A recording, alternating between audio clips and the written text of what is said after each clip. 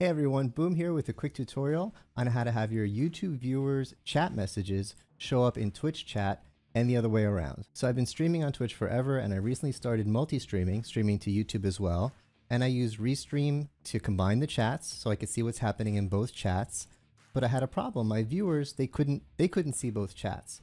So I'd be responding to something happen in YouTube chat and my Twitch viewers would be like, you know, what are you who are you talking to? What are you talking about? So like a lot of people, I just put the Restream chat up on my screen so that everyone can see it. But I had a problem with that. I have I have a lot of different scenes, a lot of different layouts. I couldn't figure out where to put it so that it worked in all of my different scenes. I just didn't like the way it looked. And it, it, well, another story, it's against TOS. We'll talk about that at the end. What I really wanted was just for my YouTube viewers' messages to show up in Twitch chat and my Twitch viewers' messages to show up in YouTube chat. And that's what I figured out. It's actually really simple. I just have a bot relaying messages. When someone says something in YouTube, a bot in Twitch chat says, hey, someone in YouTube just said this. If someone says something in Twitch chat, the bot in YouTube says, hey, this person in Twitch chat just said this. So last thing before I show you how I do it, what really matters, what my viewers said. They get it. They liked it.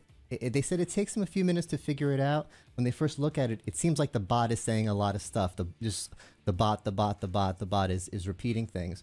But then they get used to looking at it. Their their eyes adjust and they're able to see, oh, that's what the people in the other chat are saying. And the magic people between the chat started talking to each other and becoming friends. I'm like, oh my god, it's actually working. On to the actual tutorial. Hello to everyone who scrubbed forward in the video to this spot. You're using StreamerBot for this. If you're not familiar with StreamerBot, I suggest watching a, a newbie guide tutorial. Uh, I'm not going to explain everything about StreamerBot. Uh, okay, I'll just give you really quick what you need to see if you're setting this up for the first time.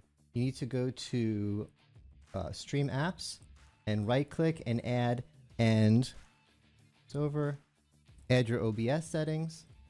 You probably want this to be at 5, and um, that's your WebSocket. Make sure WebSocket's in OBS. Again, watch another tutorial. That's not the point of this. I'm going really quick. Then go to Platforms. Under Twitch, Accounts, log in your broadcaster and your bot account.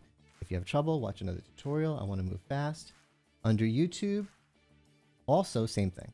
Accounts, log in your broadcaster, log in your bot account.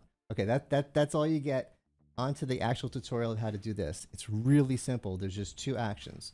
So the first action, we'll call this Twitch chat, and Twitch chat will mean something said in Twitch chat being brought over to, to YouTube. Maybe I can name them a little better, but you get the idea. Okay, so Twitch chat, there we go. So under our triggers, let me make myself a little bit smaller here so you could see. We add a trigger. The trigger is going to be YouTube chat message. So anytime there's any message in YouTube chat, this will get said in Twitch. Sub actions. This is the one little tricky part, but we, we kind of have to do it. Under core, logic, if else. This, this starts to feel a little programmery, but it's not too bad.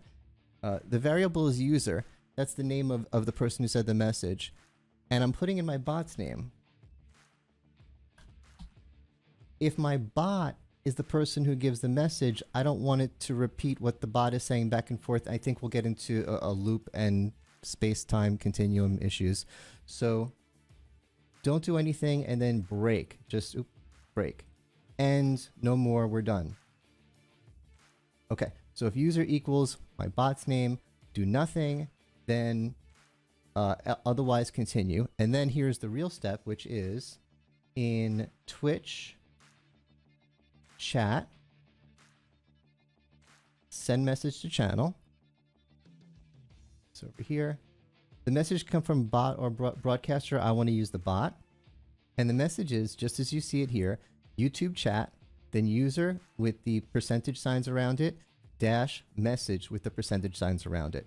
I, it's a little long. I'm thinking I might get rid of YouTube chat and just make it YT at some point, but I want people to be clear. So what will happen is the bot will say, it'll say Boom's, Boom's Pet Monkey, YouTube chat, Charlie said this song is great, whatever the message is. So click OK, and that's it. That's literally it. There's just two actions There's just two sub actions for this action.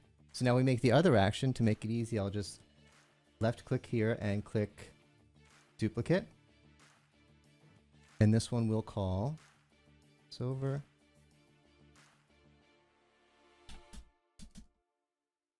YouTube chat and make a few changes here. I'll get rid of this trigger. Just delete that. Yes, I want to delete that. And now I'm adding the opposite trigger. So instead of the YouTube trigger, now it's Twitch. Uh, where is it? Uh, chat. Chat message. So anytime there's a Twitch chat message, this will be triggered. And we'll leave this as it is. If the user don't have to make any changes. If the user is my monkey, assuming your bots have the same name, uh, do nothing because we don't want the bots to be fighting each other. And this, I'm going to grab it and copy this just to make it easy. Instead of a Twitch message, I'm going to delete this. Yeah, delete it. We're going to add a YouTube message. Again, we want the bot to say it and I'll just change YouTube to Twitch. No, I'm going fast, but you can pause, right? So now if someone says something in Twitch, the bot in YouTube will say, Booms Pet Monkey, Twitch chat, this user said this message. And again, at some point I might want to make that a little less spammy, but just for now I want people to understand exactly what's going on.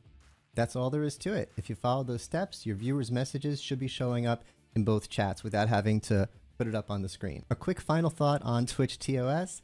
Twitch TOS does say that you can't use an app to merge chat. I think what they're talking about is what Restream does, where it, it's literally taking the messages from each chat and putting them together into one window, which then you put on your screen. Now, I did that even though that violates TOS. I, I would never recommend that anyone violates TOS. That's not a good thing for someone to do. Um, I shouldn't have done it but I, I needed it's it's kind of a bad policy because it, your viewers need a way to see what's going on and I think they're going to change that rule pretty soon. They really have nothing to worry about. It's not like all my viewers said, "Oh, I'm going to watch you on YouTube now." If anything, a, a lot of my new YouTube viewers are like, "How do I use those redeems? I'm coming over to Twitch." So I think it's going to be changed. But regardless, I don't think this new method violates TOS at all. I'm not merging the chats. I'm simply saying what's happening in another chat. I'm allowed to relay messages. I'm allowed to say, hey, Twitch viewers, someone in YouTube just requested that I play a Billy Joel song. Hey, YouTube viewers, someone in Twitch just requested I play a Metallica song. I'm allowed to say that. So I'm allowed to type it. I'm allowed to have my bots type it out. I'm just sharing messages between chat. I don't think this violates TOS, and I think it's a better solution than having it on screen anyway. I hope this works out for you. Uh, please let me know if you have any questions in the chat. And come and watch my stream sometime. I'm a lot of fun. I'm on Twitch and YouTube at Boom So Much. Thanks for watching.